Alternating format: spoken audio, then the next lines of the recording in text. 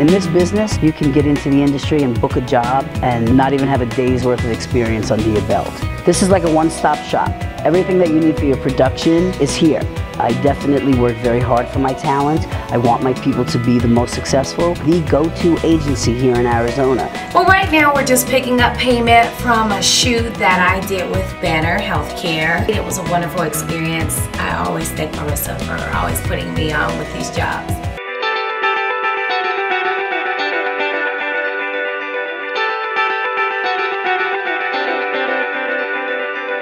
Here tonight I'm representing Empire Talent and Modeling Agency. She's very professional in the office with her and when I'm on the phone she's always has my best interests at heart. I consider my talent almost like my own children. I want to work closely with them and know what their strengths and weaknesses are because it makes me a better agent when casting comes looking for them. Whenever I contact Marisa, she always contacts me back. We have the type of relationship if I need her, she's there. If there's a job that she believes that I can do, she submits for me. She's licensed a lot of model agents here are not licensed, and sometimes you may not even know that they're not. There's only a handful of us here in Arizona that are licensed. It's a very stringent process. They want to know that whoever is representing talent and the fact that I work strictly on commission, you have to be licensed and regulated to do that.